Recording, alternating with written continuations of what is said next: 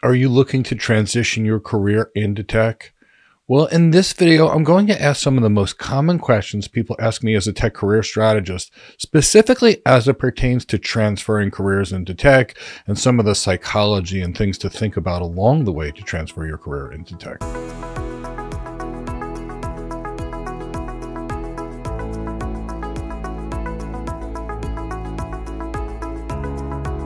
Hi, my name's Mike Gibbs. I'm an enterprise architect with approximately 25 years experience. Prior to being an enterprise architect, I'm a nurse practitioner that practiced internal medicine. And in today's video, we're going to talk about a lot of the psychology that goes around career change. And from my internal medicine background, I always found tech psychology fascinating. And I'd like to talk about the psychology behind the career change and how that can actually help you get to your goals based upon these questions that I get all the time from people that are changing careers. So, the first question we're going to ask, and these are the questions we're going to cover in today's videos, is it feels like there's so much to learn. How do I stay motivated to get to the end where I'm ultimately hired? Then the next question that we're going to talk about is about overcoming the fear of change, because fear of change is something that's obviously not so easy for anyone. And then we're going to talk about imposter syndrome and getting over imposter syndrome. And these are very common psychological issues around career change. So, that first question of there's just so much to learn. How do I stay motivated into the end? Now, the secret to staying motivated is going to be a couple things. The first one is to know your why. Why do you want this new career? And you have to make it very clear.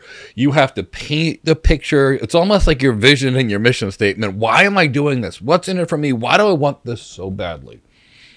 Because when you have a strong why, there are things that you can achieve that's actually incredible. So I want you to figure out why you want this. And I want you to remember every day and how critical this thing is to you.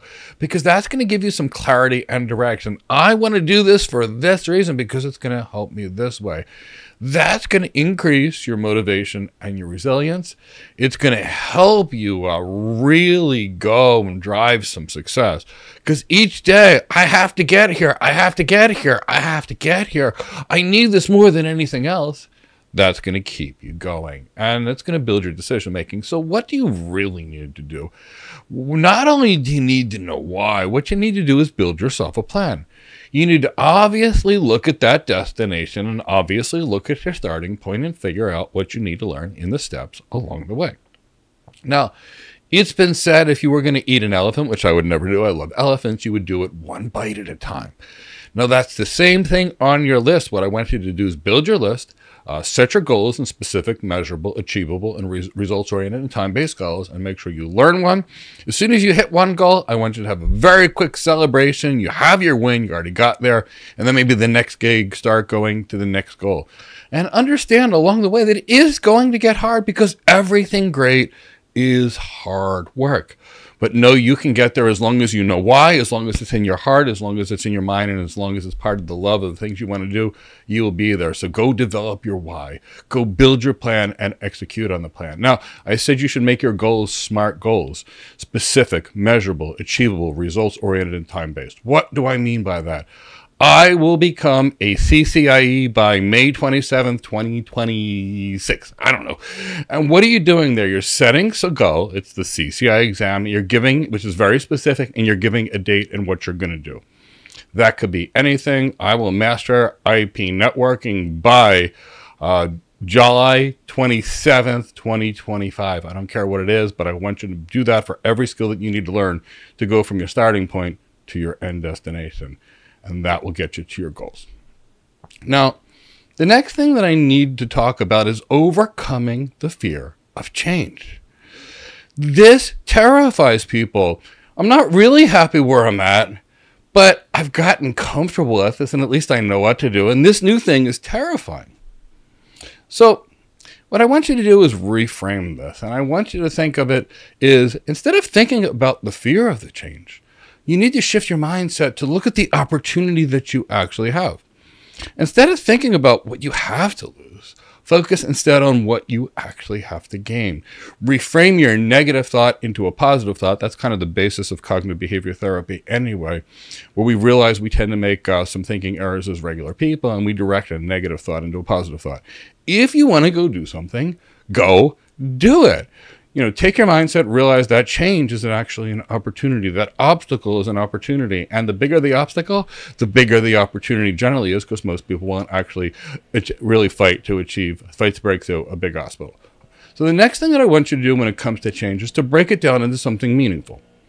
So if I was going to run a marathon, you know, you could think of you the, the entire distance that you have to run, but you might want to break it down into manageable steps maybe every eight or eight minutes or seven minutes, when you run a mile, it's like, oh, I ran my mile. And then your next goal is your next mile. And the next goal is the next mile because you can always go for another five minutes. I can keep this up for five more minutes. And five minutes later, I can keep this up for another five minutes. So break it into small, manageable steps. And that way, you've got some wins along the way. Each win is fairly low risk. And the more track record you have of winning and success, the more you get used to be successful and desire to be successful.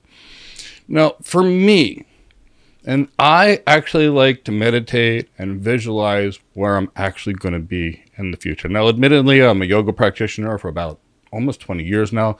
Prior to that, I was a martial artist for most of my life. So, being able to get in my mind, close my eyes, and actually see it in my mind's eye where I want to go and all the steps that I'll have to achieve to get to those goals helps me quite a lot. Now, this is uh, kind of uh, fluffy as it sounds. I've worked with a lot of people along the time, and we can get the mind right. We can shift someone from someone that struggled to someone that's highly successful. It's everything starts here, and then everything else is carried out by your thoughts. So get past the fear of change. Instead of thinking about change, think about the opportunity. Think about all the steps that you can do. And personally, I always like to build a contingency plan okay, if this thing didn't work out for some reason, I could still go back to what I had anyway and where I've been successful. So, so what? And that kind of reduces the fear. But focus on the opportunity, focus on your why, focus on what made, what made you want to make this change in the first place, and it will help conquer your fear. Now, the next one is how to get over imposter syndrome. And we have to be careful here and talk about is it imposter syndrome or is it something different? So, imposter syndrome, realistically speaking, is when you're in a role or in a position, true imposter syndrome, and you're a leading expert in the world, and for some reason, you lack confidence. So, for example, the cardiothoracic surgeon that's had 30 years' experience wakes up one day and they feel uncomfortable about doing their job. That is true imposter syndrome.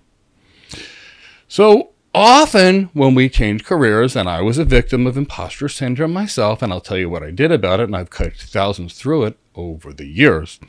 When I first took my first tech job, leaving healthcare for tech, and I, I got my first network engineer job as a senior engineer, I was terrified. And I remember telling my wife, I said, How am I going to survive in the senior engineering role? I don't know how I got it. I have absolutely no experience. What am I going to do? I don't even know what I don't know, I told my wife. And uh, what I then did is I, for the most part, built a plan to pass the Cisco Certified Internet Expert and every day read 500 to 1,000 pages a day. And I'll tell you, within about two or three weeks, I, my imposter syndrome was going down. Now, ultimately, when I started that job where I thought I wasn't going to know anything and I was worried about it, within a few weeks, I had already been coaching others and teaching others. Apparently, I had a lot more competency that I knew from the training that I actually had because I went way above and beyond in my training, and my imposter syndrome was gone. And in my case, and I will tell you, in 90% of the cases, what people, but people, when they don't feel like they're competent enough to do the job, they get imposter syndrome. And that is not imposter syndrome. That is our bodies telling us to learn more. And if we work hard in the beginning of our career and every day we work to get a little better, you'll see that will go away very quickly. Now, when it's true imposter syndrome, where you're dealing with someone that's an expert in the field and they're a recognized expert and they're at the top of their game, and they are concerned now that's an issue that's a real psychological issue. That person's going to go need to see a psychologist because there's going to be some underlying issues that are going to need to be addressed. But normally speaking, when people are changing careers, that imposter syndrome they face is not true imposter syndrome. It's actually just fear of the unknown and fear of not having enough or knowing enough. And the solution to that is just learning more. So in this video, we talked about the following things. We talked about the psychology of career change. We talked about how to stay motivated when there's so much to learn. We talked about overcoming the fear of change. And we also talked about overcoming imposter syndrome. Now, if you're looking to get your first cloud architect job, network architect job, AI architect job, enterprise architect job, security architect job, join me in a free architecture webinar. We hold one of these webinars once per week. We'll talk about the skills that you need for these roles. We'll talk about what we do in these roles. We'll talk about how to, how to get hired when you lack experience, even how to bypass HR so you don't get auto rejected for these jobs. These webinars are live, they're free, they're on Zoom. So you can sign up for the webinar in the description of this video. Uh, on these webinars, not only we discover the roles, we'll answer any kind of cloud architect, security architect, AI architect, network architect, security architect, career questions you may have. If you've enjoyed this video, please give it a like, subscribe to our channel, and hit the bell to be notified of new videos to assist you in your cloud architect, enterprise architect, security architect, AI architect career. This is Mike Gibb signing off for now, and I look forward to seeing you in another video. Take care.